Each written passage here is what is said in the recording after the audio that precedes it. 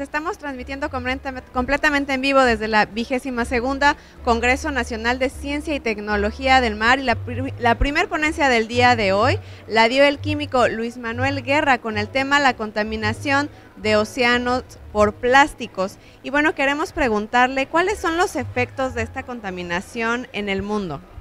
Bueno, en el mundo es un problema grave que tenemos del descontrol que generan los polímeros, presente por su durabilidad. Se mantienen muchísimo tiempo en el ambiente. En tierra, por ejemplo, eh, son receptáculos para agua, que son nidos de vectores de enfermedad, como es el mosquito anófeles, el mosquito del chikungunya y que eh, producen eh, daños a la salud importantes.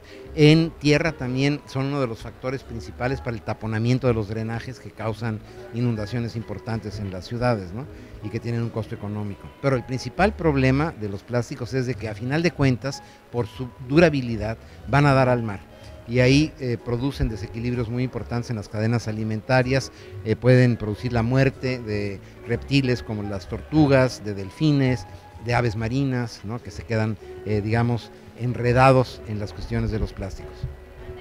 Y bueno, también qué países están tomando medidas para controlar o contrarrestar esta contaminación. Bueno, pues está empezando en el mundo, ya Estados Unidos tiene una legislación muy avanzada en este sentido, no tienen tanto el problema porque la disposición final, o sea, qué sucede al final de cuentas con los plásticos, es que no llegan al mar porque tienen una gestión adecuada y llegan ya sea a rellenos sanitarios o a reciclaje. Entonces no tienen este problema. México está empezando, podría ser un orgullo para América Latina el que México aplique eh, aditivos dentro de los plásticos que permiten su degradabilidad acelerada, que cuando lleguen a los océanos ya sean micelas de un tamaño apropiado para que las bacterias se los coman y entonces conviertan en oxo biodegradables. Y por último, eh, ¿qué páginas de internet son confiables y recomendables? Porque usted comentaba que muchos medios manejan mal, mala información, nos engañan, y sobre todo para los alumnos, ¿en dónde pueden investigar los, los chicos de secundaria, de prepa, de este tema?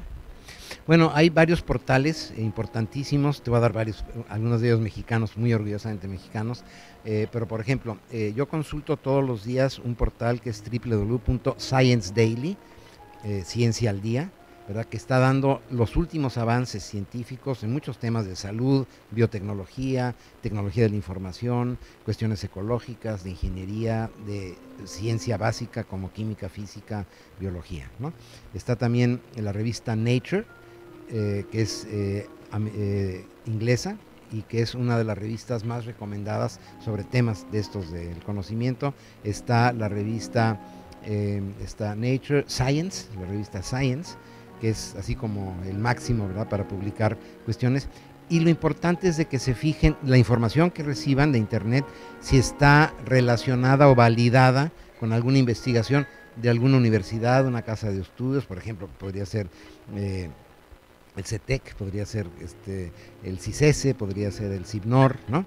que tienen cuestiones del mar y que son este, instituciones de investigación superior. Muchas gracias. Al contrario.